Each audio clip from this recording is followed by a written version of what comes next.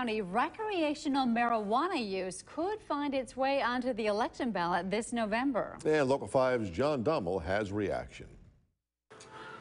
Supervisors from Brown County are talking about potentially adding recreational marijuana to the November election ballot. It wouldn't amount to much more than a public opinion survey, and that's because a county can't overrule state laws on marijuana, and the movement for legalization has an uphill battle ahead of it. Check out the science.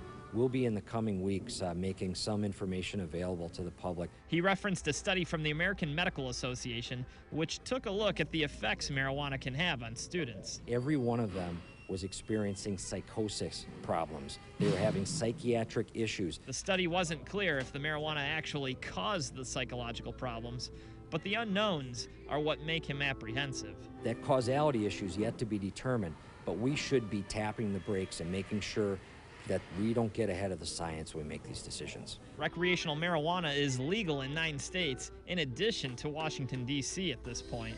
And a report from BDS Analytics says legal marijuana could become a $40 billion industry. Of course, like you have to be like that certain age and have a good mindset of not to be dumb with it, obviously, but I definitely see that it can be a positive impact on our community. Reporting in Green Bay, John Dommel, Local 5 News.